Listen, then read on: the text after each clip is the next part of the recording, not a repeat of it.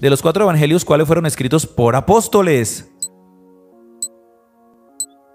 Pues fueron dos, Mateo y Juan. Mateo 10, del 2 al 3, los menciona como apóstoles. Pregunta 87 completa. Él te librará el lazo del cazador de la peste.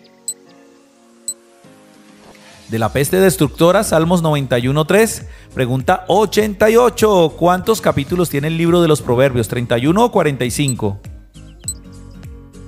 Pues en total tiene 31 capítulos. Pregunta número 89. Aparte del libro de Cantares, ¿en cuál otro no se menciona la palabra Dios? En el libro de Esther, en sus 10 capítulos. Pregunta 90. ¿Quién le dijo a Jesús un nombre sobre todo nombre? Pues ¿quién le dio a Jesús un nombre sobre todo nombre, más bien?